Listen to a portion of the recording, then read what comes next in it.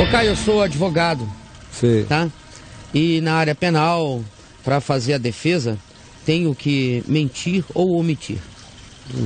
Como cristão, o que eu faço? Eu deixo de trabalhar na área penal para não mentir mais? Ontem mesmo eu estava conversando aqui com o Daniel sobre como é que os grandes advogados criminalistas do Brasil fazem. Eu já fui atendido por grandes advogados criminalistas, né? Certo. Aí, por exemplo, aqui no caso do dossiê Caimã, eu vinha para contar a história inteira. Tudo. Não, reverendo, se senhor contar, pode prejudicar muita gente. São pessoas poderosas que podem se voltar contra o senhor. E a gente só quer sair disso. O senhor não tem nada a ver com isso mesmo. Mas vamos supor o seguinte: aquela história que o senhor me contou, digamos que na realidade, digamos que o fulano lhe procurou e ao invés de ter dito isso, na realidade ele disse foi isso. Aí vai substituindo e ao invés disso, na realidade o que ele disse foi isso. E aí disse, na realidade, o que o senhor disse foi isso, depois disso, na realidade, e, e se vai contando isso como realidade. Para quê? Porque o advogado não quer, eh, primeiro ele não está interessado na verdade, ele está interessado em vencer a causa e livrar o cliente. Esse é o A verdade objetivo não importa. confessado, declarado. Não é? É verdade. É. A verdade não importa. Não, se a, se a verdade fizer você se ferrar, ele não quer a verdade, ele quer vencer a causa e te livrar O objetivo dele é esse. dele, claro. Então ele vai, ele vai, mas por que, que ele faz isso? Número um, porque ninguém quer ser visto como um cara que está induzindo a mentira. Então ele vai dizer aquele assunto lá, olha, não é exatamente a melhor forma de contar, digamos que contaremos assim. Na realidade, foi assim que aconteceu. E ele também assim fazendo, deixa o cliente confortável para não se sentir mudando de versão.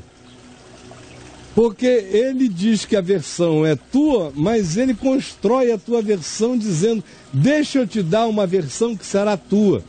Atenua psicologicamente no coração do cliente a sensação de estar inventando uma mentira. Ela foi inventada sob o pretexto advocatício de te ajudar a contar algo que não te incrimine nem a ninguém e não faça você se sentir um mentiroso quanto mais por ter inventado a sua própria mentira.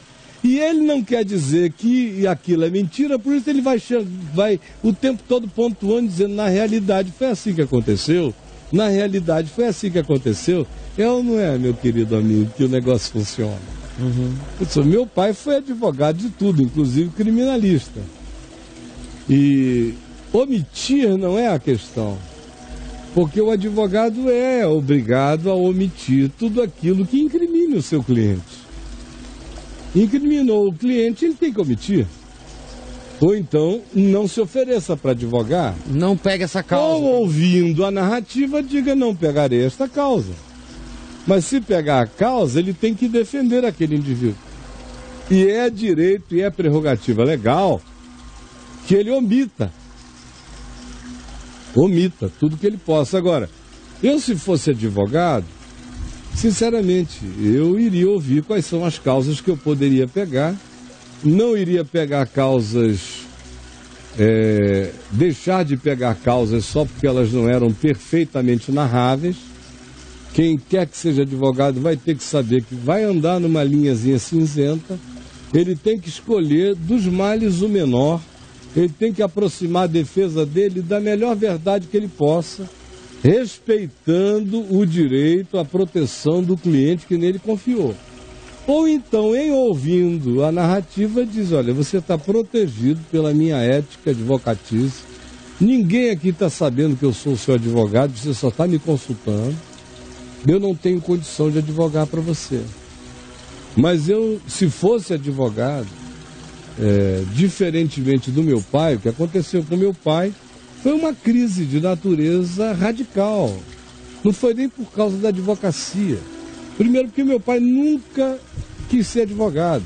A Segunda Guerra Mundial estava arrebentando para todo lado, os japoneses afundando da- navio brasileiro aqui na costa, e os alemães, era um perigo. É. Só se ia para o Rio de Janeiro estudar ou para a Bahia de Manaus naquele tempo de navio, com risco de ser afundado. Meu avô já tinha um monte de filhos estudando no Rio, em Salvador.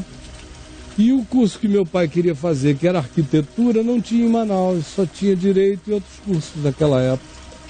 Ah, mais ou menos 70 anos atrás.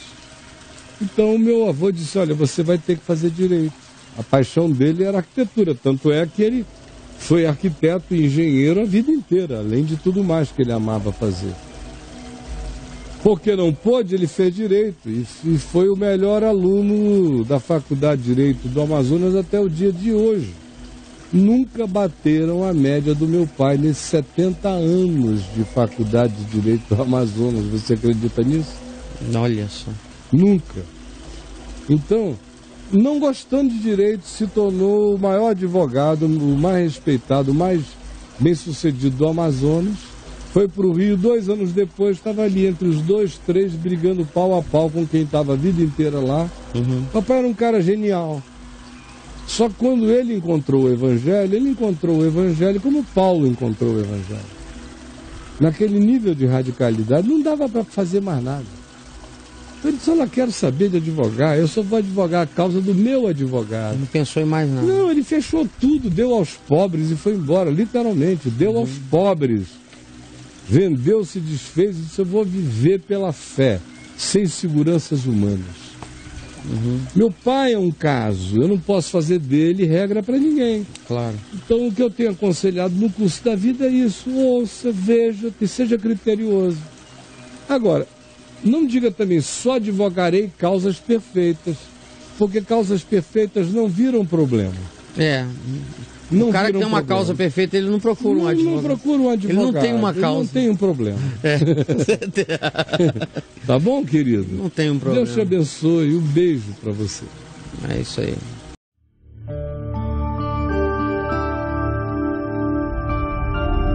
Vem IVTV. O canal é você.